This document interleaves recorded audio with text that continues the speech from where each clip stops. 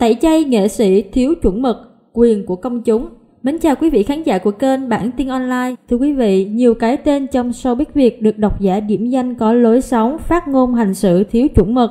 Hơn ai hết, công chúng cần sử dụng quyền bày tỏ thái độ, cụ thể là tẩy chay đối với những nghệ sĩ có lối sống, cách hành xử thiếu chuẩn mực để tạo nên một môi trường vui chơi, giải trí lành mạnh. Nghệ sĩ và lối hành xử lệch chuẩn không chỉ là mắc thiện cảm vì những phát ngôn gây sốc, một bộ phận nghệ sĩ ngày nay còn có lối sống hành xử thiếu chuẩn mực. Từ những dòng trạng thái của Kiều Thanh, Kim Oanh trong ồn ào liên quan đến hai nghệ sĩ Việt bị tố hiếp dâm cho đến những lời bên vực của nghệ sĩ nhân dân Hồng Văn, Việt Anh bày tỏ lòng thương cảm với học trò, cho thấy lối hành xử của một bộ phận nghệ sĩ có vấn đề trầm trọng. Sự việc bắt đầu từ tranh cãi liên quan đến hai nghệ sĩ Việt bị tố tấn công tình dục khi đi công tác ở Tây Ban Nha gần một tháng sau khi sự việc xảy ra dư luận vẫn chưa ngớt xôn xao truyền tai nhau. Giữa thời điểm ồn ào đẩy lên đỉnh điểm, phát ngôn của kiều thanh và kim oanh tạo nên một cuộc tranh cãi cực kỳ lớn. Theo đó, trên trang cá nhân, nghệ sĩ ưu tú diễn viên kiều thanh đã đăng tải lại bài viết về lùm xùm của hai nam nghệ sĩ và cho rằng ở nước ngoài các bé dậy thì sớm, trải nghiệm cũng sớm. Chẳng qua do hai nam nghệ sĩ đẹp trai lại nổi tiếng, nên mới thành ra to chuyện, chứ đây là văn hóa đàn ông rất đổi bình thường. Nguyên văn nữ nghệ sĩ Kiều Thanh viết như sau. Đàn ông đi nước ngoài ông nào chẳng thử dâu ngô một tí, không chủ động thì cũng tác động bởi bạn bè hoặc fan hâm mộ mời tặng quà. Ở bên nước ngoài các bạn nữ phát triển dậy thì sớm, trải nghiệm cũng sớm từ 12, 13 tuổi cơ. Vào đúng ngay hai anh đẹp trai lại nổi tiếng nên thành to chuyện. Có khi là người bình thường thì bạn nữ kia cũng ok ngay. Trước những ồn ào liên quan đến đồng nghiệp, diễn viên Kim Oanh cũng đã lên tiếng bên vực. Cô bày tỏ, trong đời mỗi người sẽ có một thời điểm không thể quay đầu lại và trong một vài trường hợp, thời điểm đó là lúc cậu không thể tiếp tục được nữa và khi ta chạm đến thời điểm đó, mọi thứ ta có thể làm chỉ là chấp nhận sự thật. Đó là cách mà chúng ta tồn tại. Tất cả chúng ta đều là những con người không hoàn hảo, sống trong một thế giới không hoàn hảo. Vậy nên tôi bên các bạn tôi đấy, tôi bên đồng nghiệp của tôi đấy thì sao? Việc hai diễn viên lên tiếng giữa tâm bảo của đồng nghiệp đã gây ra không ít tranh cãi. Một số người tỏ ra đồng tình và khuyên khán giả không nên đưa ra kết luận trước khi có thông tin chính thức. Tuy nhiên, bên cạnh đó cũng có một vài ý kiến cho rằng Kim Oanh và Kiều Thanh có những suy nghĩ lệch chuẩn vì đứng trên cả pháp luật, cán công lý để phân bua đúng sai. Một vài độc giả cho rằng cách hành xử của hai nữ diễn viên gạo cội thể hiện đạo đức lệch chuẩn của một bộ phận những người của công chúng có vấn đề. Thiết nghĩ ai cũng có quyền bày tỏ quan điểm cá nhân, nhưng đã là người của công chúng thì các nghệ sĩ cũng cần điều tiết cái tôi của mình khi thể hiện trước công chúng. Trước đó thì nghệ sĩ nhân dân Hồng Vân và Việt Anh cũng rơi vào tình cảnh tương tự. Cụ thể vào thời điểm Hữu Tiến bị công an quận 8 thành phố Hồ Chí Minh tạm giữ hình sự để điều tra tội tàn trữ trái phép chất ma túy và tổ chức sử dụng trái phép chất ma túy. Diễn viên này từng làm việc tại sân khấu kịch Hồng Vân từ năm 2009 Nghệ sĩ nhân dân Hồng Vân là đàn chị và cũng là người thầy của Hữu Tiến nên mọi động thái của chị được khán giả theo dõi và hết sức quan tâm. Tối muộn, sau thời điểm học trò bị tạm giữ, nghệ sĩ nhân dân Hồng Vân gây bất ngờ vì dòng trạng thái bên vực cho học trò. Cả đêm qua không tài nào ngủ được, vừa giận, vừa thương, vừa buồn. Cuộc sống tự mình định đoạt, tương lai do mình quyết định, còn sống là còn phấn đấu, sai đến đâu sửa đến đó, vấp ngã chỗ nào đứng lên chỗ đó, hãy cố gắng vì những người thân bên cạnh. Trong số những bình luận động viên từ khán giả và đồng nghiệp đáng chú ý nhất là bình luận của nghệ sĩ nhân dân Việt Anh. Theo đó, đáp lại lời thăm hỏi của đàn anh, Hồng Văn nói, chuyện này anh biết mà, nó dại dột quá. Câu nói tiếp theo của nam nghệ sĩ khiến dân mạng bất bình. Anh mới biết tối qua, chắc bị ai tị hiềm chỉ điểm, ở nhà mà sao công an biết vô bắt, bạn với bè. Đoạn hội thoại của nghệ sĩ nhân dân Hồng Văn và nghệ sĩ nhân dân Việt Anh nhanh chóng được lan truyền khắp mạng xã hội, kéo theo nhiều lời chỉ trích gay gắt. Trên các diễn đàn bàn luận về showbiz, cư dân mạng đã lên tiếng chỉ trích cho rằng hai nghệ sĩ lớn bày tỏ sự thương cảm sai chỗ, mặc cho hữu tiếng mắc sai lầm nghiêm trọng liên quan đến pháp luật.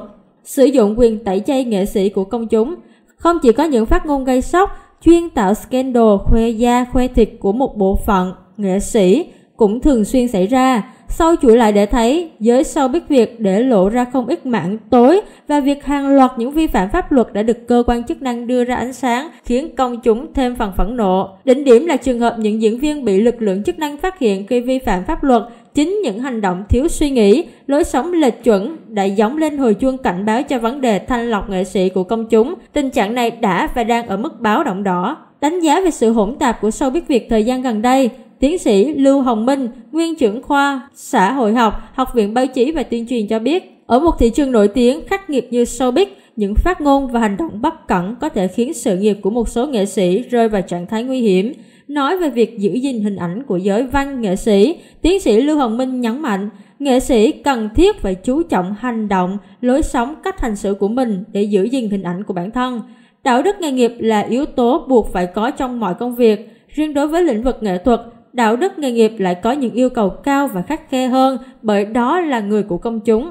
Đồng quan điểm với tiến sĩ Lưu Hồng Minh, chuyên gia văn hóa Ngô Hương Giang cho rằng sự lớn mạnh của truyền thông mạng xã hội kéo theo những hệ lụy khiến nghệ sĩ có những suy nghĩ lệch lạc.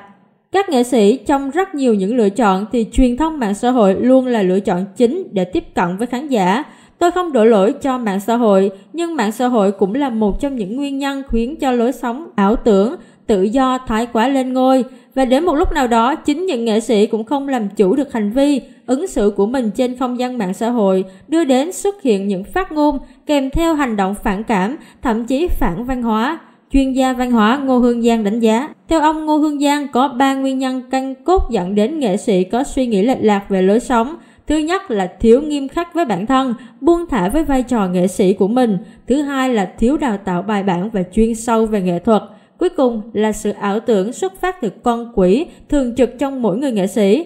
Khi người nghệ sĩ sống với lòng tự phụ và sự ảo tưởng trong mình, cộng hưởng với sự tung hô của người hâm mộ thì rất dễ dẫn đến việc họ khó lòng kiểm soát được phát ngôn và hành động. Đề xuất biện pháp nhằm chấn chỉnh tình trạng nghệ sĩ hành xử thiếu chuẩn mực, chuyên gia văn hóa cho rằng công chúng cần thể hiện thái độ lên án những hành động lệch chuẩn bằng quyền tẩy chay nghệ sĩ.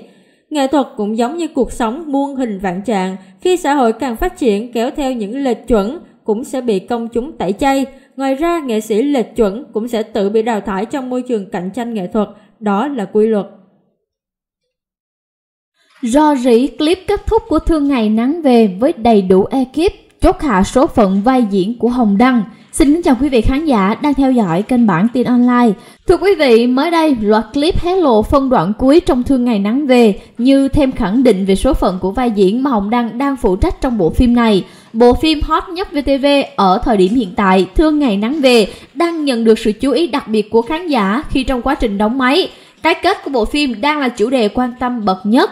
Mới đây trên mạng xã hội TikTok đã rộ lên đoạn clip tiết lộ cảnh đám cưới của cặp đôi Vân Trang và Hoàng Duy trong tập cuối của Thương Ngày Nắng Về. Theo đó, trong đoạn clip này, Vân Trang và Hoàng Duy đã có một đám cưới ngoài trời như trong chuyện cổ tích. Cô dâu Vân Trang và Hoàng Duy cùng nắm tay tiến vào lễ đường với hai phù dâu, phù rể đáng yêu là hai bé Sam và So. Cụ thể, các thành viên trong gia đình như là bà Nga, bà Kim Nhung, Vân Khánh, vân vân Đông Phong, Cậu Vượng đều xuất hiện ở hàng ghế trên của lễ cưới. Tuy nhiên không thấy sự xuất hiện của chủ tịch Hoàng Long và nam diễn viên Hồng Đăng. Trước đó trên trang cá nhân thì Huyền Ly Di đã tiết lộ nghệ sĩ nhân dân Tiến Đạt đã thực hiện cảnh cuối của mình trong Thương Ngày Nắng Về. Vì thế, việc nam nghệ sĩ không có mặt ở cảnh đám cưới cũng dễ hiểu. Còn về phần Hồng Đăng, nam diễn viên vì đang dính phải ồn ào ở nước ngoài mà đã bị VTV đưa ra thông báo cắt sóng. Đáng nói ở những tập cuối, bộ phim còn phải thay đổi kịch bản liên tục để nam diễn viên không xuất hiện phù hợp với tình hình hiện tại. Có thể thấy qua clip đám cưới, số phận của vai diễn mà Hồng Đăng đảm nhiệm trong Thương Ngày Nắng Về đã hoàn toàn được định đoạt. Và sự cố kinh hoàng lần này của Hồ Hoài Anh Hồng Đăng cũng khiến cho bộ phim Thương Ngày Nắng Về rơi vào thế khó khăn. Ekip của đoàn phim đã phải có những sửa đổi ngay lập tức những cảnh quay để nhân vật Đức Xoăn do Hồng Đăng thủ vai không xuất hiện phù hợp với tình hình hiện tại. Tập 40 phát sóng ngay sau khi Hồng Đăng ngay sau khi drama của Hồng Đăng Hồ Hoài Anh nổ ra, khán giả chỉ thấy sự xuất hiện của giọng nói của Hồng Đăng. Nam diễn viên không hề có phân cảnh nào trong phim này, trong khi đó anh ta là nhân vật chính. Tuy nhiên, đến tập 44 vừa qua, nhân vật Đức Xoan có được nhắc đến, nhưng đến cả giọng thoại cũng không được xuất hiện. Mới đây, vào ngày 13 tháng 7 thì fanpage chính thức của VTV Giải trí cũng đã đăng tải video clip phân cảnh thể hiện rõ việc Hồng Đăng đã chính thức bị biên tập đá văng ra khỏi phim. Cụ thể, VTV Giải trí đăng tải loạt phân cảnh bà Hiền bị trả giá sau những sai lầm đã làm với con dâu. Đăng xuất hiện trong bộ phim này Thậm chí, vai Đức Xoăn chỉ xuất hiện qua một giọng thoại trên điện thoại và được các nhân vật gọi tên mà thôi. Điều này khiến khán giả ngầm hiểu rằng Hồng Đăng đã bị cắt vai vĩnh viễn. Và phân cảnh mà Hồng Đăng bị loại bỏ hoàn toàn khỏi phim ngay lập tức nhận về sự chú ý của khán giả. Nhiều người cho rằng việc biên kịch cho nhân vật Đức Xoăn đi công tác là một màn quay xe chữa cháy cho việc Hồng Đăng không thể xuất hiện trong phim nữa. Trong khi trước đó mạch phim hướng đến việc Đức và Khánh có thể quay trở lại với nhau, ai nấy ngầm hiểu rằng việc thay đổi kịch bản là một điều bất đắc dĩ và rất khó cho đoàn phim. Hàng loạt bình luận về việc biến mất của nhân vật Đức Xoăn được khán giả để lại. Đức đi công tác, bao giờ hết phim cũng chưa chắc đã về. Quả Đức đi công tác làm bác sĩ quay xe luôn. Đức đi xa quá, đi xa luôn nhé. Đạo diễn quay xe như thần. Quả này thì hết phim, chưa chắc Hồng Đăng đã được về nước chứ đừng nói là có thể xuất hiện trong cuối phim. Có thể lần này anh đi du lịch hơi dài luôn đấy.